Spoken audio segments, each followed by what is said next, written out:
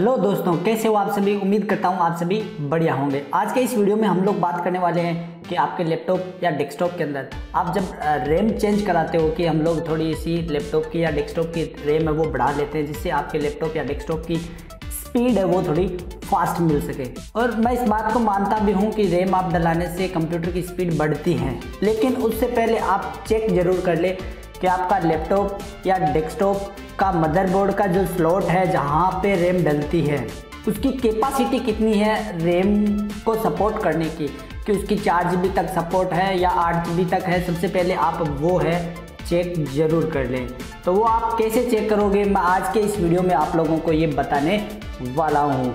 तब जब भी मार्केट के अंदर लैपटॉप में या डेस्कटॉप के अंदर जब भी आप रैम चेंज कराने जाओ या थोड़ी बहुत बढ़ाने जाओ तो उससे पहले आप अपने लैपटॉप में या डेस्कटॉप के अंदर रैम है वो चेक कर लें कि आपके लैपटॉप में या डेस्कटॉप के अंदर लास्ट तक आप कितनी जी बी रैम है वो डला सकते हो।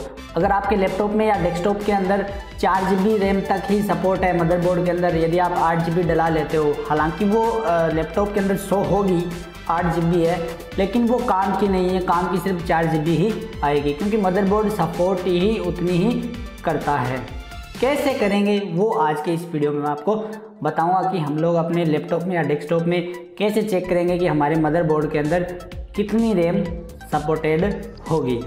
हेलो दोस्तों, मैं सत्यपाल शर्मा टेक्निकल दोस्त इंडिया के चैनल में आपका फिर से स्वागत करता हूँ। तो बिना टाइम वेस्ट के हुए वीडियो शुरू करते हैं। चलते हैं कंप्यूटर स्क्रीन पर। मैं आपको कुछ कमांड बताऊँगा। वो कमांड आपको कंप्यूटर को देना है सीएमडी के अंदर और बहुत ही ईजी तरीके से आप पता लगा सकते हो कि आपके लैपटॉप या डेस्कटॉप के अंदर जो मदरबोर्ड है, उसकी रैम की कैपेसिटी कितनी है। तो चलिए चलते हैं कंप्यूटर स्क्रीन पर। दोस्तों उसके लिए आपको क्या करना है? सिंपली सबसे पहले आपको क्या करना है? यहाँ पे रन है, वो ओपन करना है। और जैसे आप रन फ़ाइल ओपन करना चाहो तो आप सीधा विंडो आर दबा के भी कर सकते हो। तो मैंने विंडो प्लस आर दबाया है। यहाँ पे आप रन है, वो डायरेक्ट सर्च करके भी कर सकते हो। बट मैंने विंडो प्लस आर दबाया, तब रन फ़ाइल है, वो डायरेक्ट वो कमांड मोड है, वो ओपन हो गया।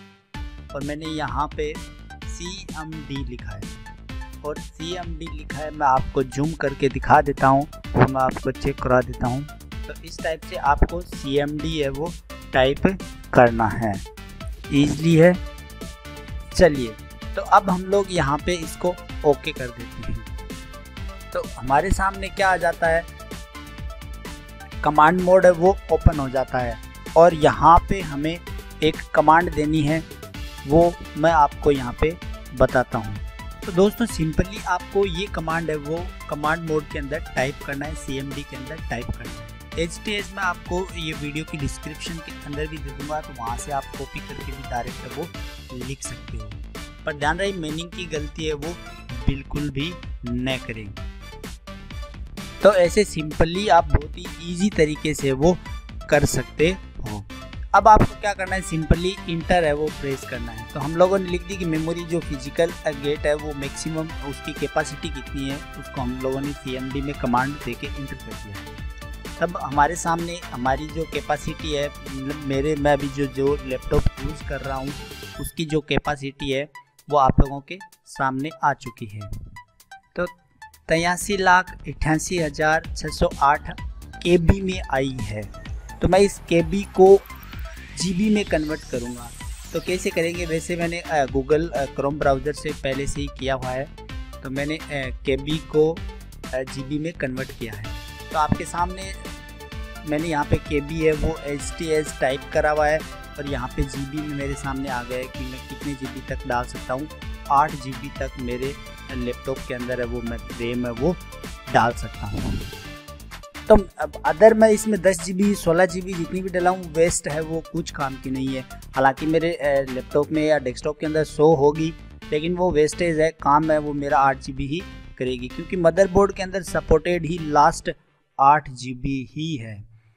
तो मैं आपको एक सलाह दूँगा कि यदि आप अपने लैपटॉप में या डेस्कटॉप के अंदर रैम चेंज करा रहे हो तो सबसे पहले आपके लैपटॉप की या डेस्कटॉप की कैपेसिटी है वो ज़रूर चेक कर लें। कि मदरबोर्ड के अंदर आपकी लैपटॉप है या डेस्कटॉप है, जो भी आप यूज़ कर रहे हो, उसकी कैपेसिटी कितनी है, कितनी वो कवर कर पाता है, उतनी ही रैम डलवाएँ। अदरवाइज़ आप कितनी भी डलवा लो, वो वेस्टेज है। तो दोस्तों, उम्मीद करता हूँ आप लोगों को समझ में आ गया होगा। तो आज के लिए इतना ही। आप मिलते हैं नेक्स्ट वीडियो में। और बने रहिए दोस्तों टेक्निकल दोस्त इंडिया के साथ। और ऐसे ही टेक्निकल से रिलेटेड जानकारियाँ पाते रहिए।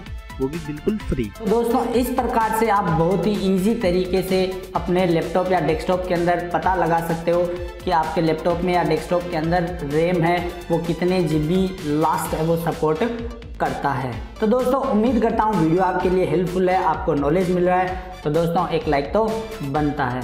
और हाँ दोस्तों, यदि आप मेरे चैनल पर पहली बार रहे हो तो चैनल को सब्सक्राइब करना न भूलें। क्योंकि इस चैनल पर मिलने वाले हैं आपको ऐसे ही टेक्निकल से रिलेटेड और भी बहुत सारे वीडियोज़ तो आज के लिए इतना ही। आप मिलते हैं नेक्स्ट वीडियो में। तब तक के लिए टाटा बाय बाय धन्यवाद। जय हिंद दोस्तों।